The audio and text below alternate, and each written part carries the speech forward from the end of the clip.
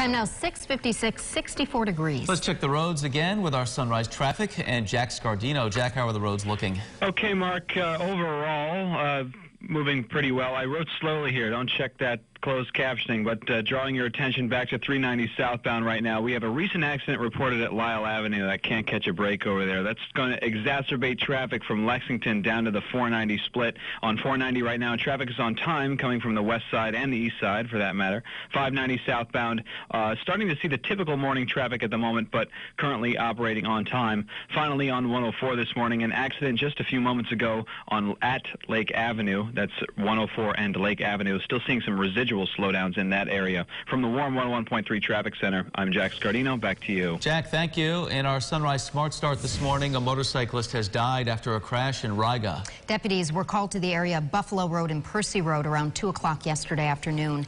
Investigators say the motorcyclist was traveling east when a car turned in front of him. The driver of the car and a passenger were not injured. Names of those involved have not yet been released. The sheriff's office does not believe speed, drugs, or alcohol played a role. The driver of the car was ticketed. Deputies still asking for your help as they investigate two bodies found in a burned out car in Hamlin. This vehicle was discovered on King Street Monday morning. Its owner, who has not yet been identified, has been located and we're told is cooperating with investigators. A proposal to build a solar plant is back on the agenda tonight in Ogden. The 90-acre solar farm would be built on farmland at the corner of Union and Whittier Roads.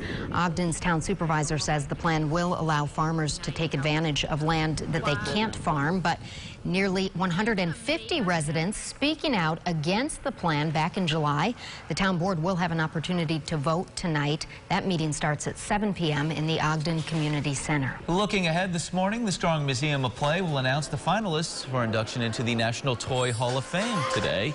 You can follow News 8 on Twitter and Facebook for your updates. The winner, winners will be announced on November 8th.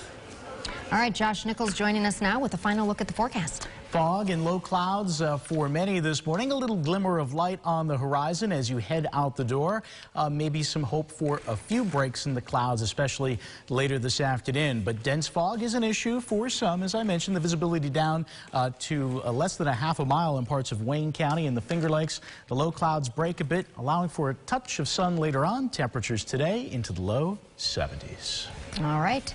Thank you very much, and thank you for watching News 8 at Sunrise. Our next update is coming up in 25 minutes. Uh, CBS This Morning begins right now with extensive coverage on preparations for Hurricane Florence. Have a great day.